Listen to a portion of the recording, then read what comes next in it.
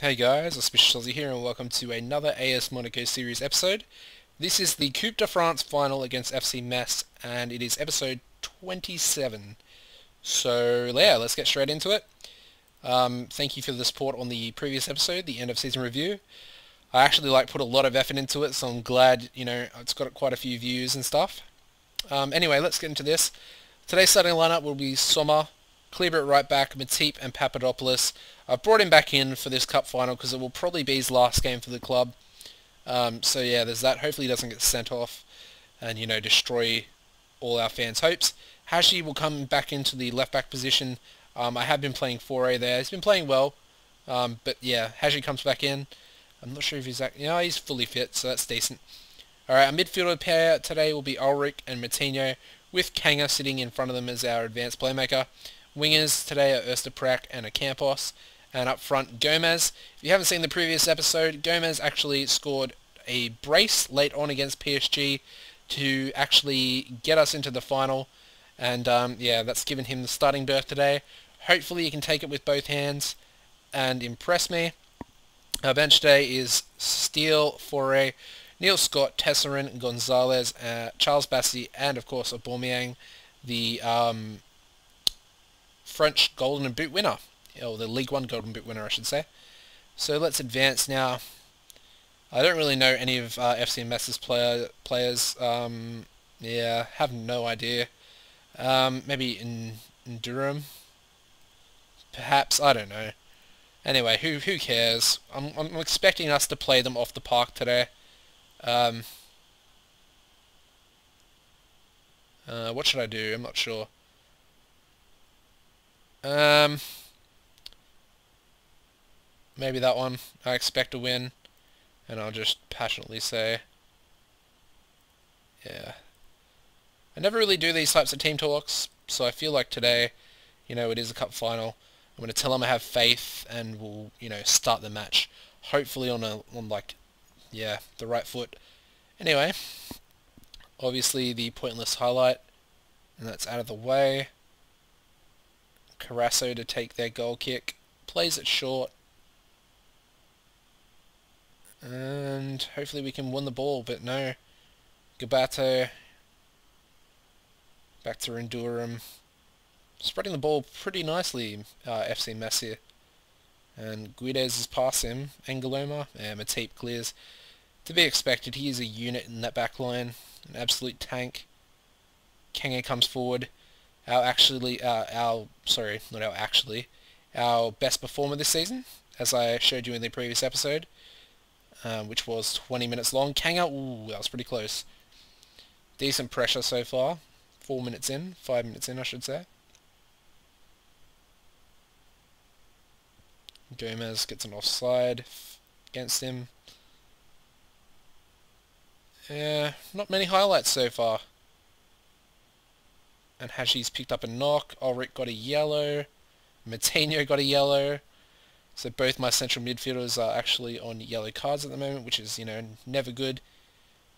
And that's a poor kick straight to Ulrich. Kanga, can he play it to Osterprak? He can. Cross. Gomez. Goal! Oh, it's offside. It's offside. That's disappointing. Good to see, though. Very good cross to Gomez, even though he was offside. Um, he could have, you know, opened the scoring for us there in the in the Coupe de France final, but it wasn't to be.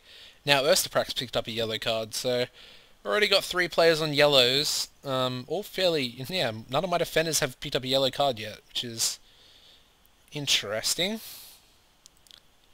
I'm gonna say that, and we'll go whatever my assistant feels like you should say. Don't even know who my assistant is actually. Alright, Moutinho free kick. Matip.